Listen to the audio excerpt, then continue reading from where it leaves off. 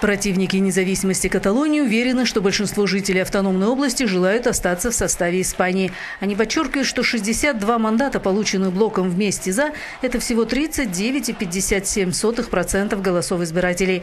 Инесса Римадес, глава ставшей второй политической силы области партии «Граждане», говорит, когда Артур Мас назначал эти выборы, он сказал, что большинство каталонцев его поддерживают.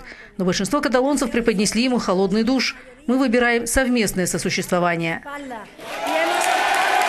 Народная партия премьер-министра Испании Марианна Рахоя потерпела в Каталонии сокрушительное поражение. Мадрид говорит, что готов обсуждать реформу Конституции, которая больше бы отвечала интересам каталонцев, но выход области из состава королевства исключает.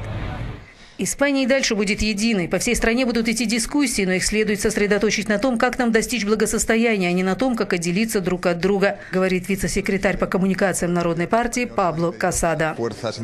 Жесткая стратегия испанского правительства не помешала сторонникам каталонской независимости завоевать большинство в местном парламенте. Несколько месяцев, остающихся до всеобщих выборов, станут непростым испытанием для Мариана Рахоя, передает из Мадрида корреспондент Евроньюз.